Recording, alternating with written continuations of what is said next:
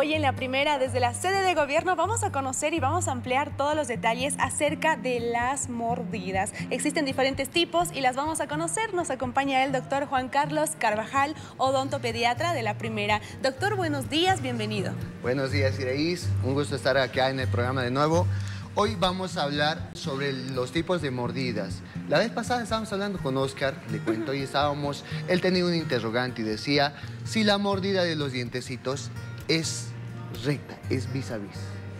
Ya, a ver, Ahora yo voy a poner el ejemplo vamos, con... vamos a aclarar con, nuestro- con los dientecitos. Ya. No, las mordidas, como ven, no son vis a vis, porque si fuesen vis a vis estas mordidas, puede haber mucho desgaste entre dientecito y al final, cuando el paciente coma, esto puede estar, puede hacer y, y generar un desgaste. Exacto. Ahora, nuestra mordida normal debería ser con sobremordida, un overbite y un overjet. ¿Eso qué quiere decir? Ya. Que los dientecitos superiores tienen que sobrepasar lo que son los dientecitos inferiores.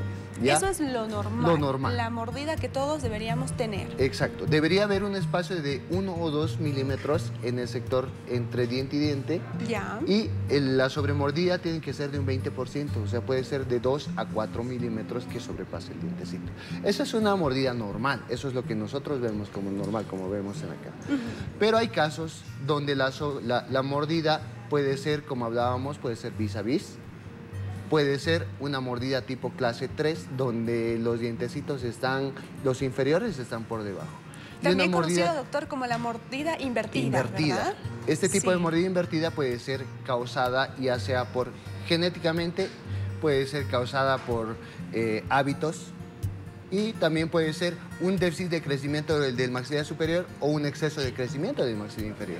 Doctor, Es- está hablando de hábitos. Hábitos. Como cuál, por ejemplo, que realizan los niños que tienen una mordida normal, pero con este hábito, lamentablemente, llegan a mover sus dientes. Pueden llegar a mover, es el caso de cuando utilizan objetos, pueden utilizar, eh, muerden diferentes tipos de objetos o a veces la posición, a veces la tensión de los niños nos llegan a generar diferentes tipos de maloclusiones. Los niños llegan a generar esto por, porque ellos se sienten cómodos, no lo hacen de una manera consciente, lo hacen de una manera inconsciente y lo que van a generar es eso. Ahora, hay otro tipo de mordida donde es la clase 2, donde hay una súper sobremordida del, del maxilar superior y se va para adelante y queda muy destruido el maxilar inferior. ¿Ya? Ahora, tenemos un pequeño truquito, lo que vamos a ver nosotros en cuanto a, a clase 3, la mordida Bien. invertida. ¿Ya? Para esto, para corregir, cuando son muy pequeños y cuando están en edad muy, muy, cuando son bien pequeñitos, nosotros podemos llegar a corregir o podemos llegar a disimular este tipo de mordidas. Y no, no necesitamos aparatos y demás porque lo podemos realizar y lo único que nosotros vamos a necesitar es un bajalenguas o un palito de helado. Ya, que lo Así tenemos que por este lado. Lo tenemos, el palito de helado lo sacamos y a los papás se les indica que vamos a utilizar como una palanquita. No lo vamos a hacer fuerte, pero lo vamos a hacer así. Vamos a agarrar, hacemos que haya mordida y jalamos. Suavito, suavito, hacia abajo. Hacemos Ah, palanca abajo.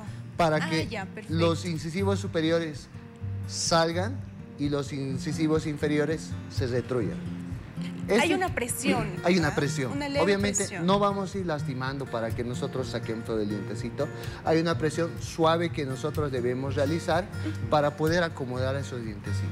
Esto ya sería la responsabilidad de los De los padres, papás. Se les deben indica a los papás. atentos. Nosotros como tratamiento, hay un tratamiento de ortopedia, pero este tratamiento de ortopedia se realiza a partir de los 7 años. Ya. Pero ¿qué hacemos antes de los 7 años? Así Ajá. que para nosotros y para los papás, comprar un, un bajalenguas ¿Bajalenguas? es económico. Así que podemos hacer este tratamiento para que a futuro no tengamos que hacer distintos tipos de tratamiento. Así que se les explica a los papás, no muy fuerte, por 3 a 5 minutos. Dos Tres a o cinco minutos. ¿Todos los días? todos los días, dos a tres veces al día. Y les cuento, esto es bien mágico porque en una semana la mordida que estaba cruzada, con este ejercicio la mordida modifica a una mordida normal. Estaríamos son- corrigiendo la mordida, La con esta técnica. con la técnica de los palitos de helado únicamente. Y es bien fácil para los papás. Ya. Cuestión, como, le- como usted decía, es cuestión del tiempo y la dedicación del papá. Porque muchas veces pasa que la primera el papá sí lo hace. El primer día. La primera semana. El primer día lo hace, segundo día. ya le está haciendo la mitad, tercer día ya no y le cuento El cuarto se olvida, el quinto ya. Ya no lo realiza. Ya no lo realiza. ¿Y cuál es la ventaja de hacer este tipo de ejercicios? Es que a futuro, como le decía, a los siete años nosotros hacemos un tratamiento de ortopedia que vendría a ser la, aplicación de Hyrax para hacer crecer nosotros el maxilar superior, para romper la sutura y crezca y se, se, se, ocluya normal. ¿Ya? Perfecto. Para evitar eso, hacemos los palillos de lado y para evitar un tratamiento ortodóntico futuro, nosotros hacemos lo que es la ortopedia. O sea, son tres pasos que debemos realizar.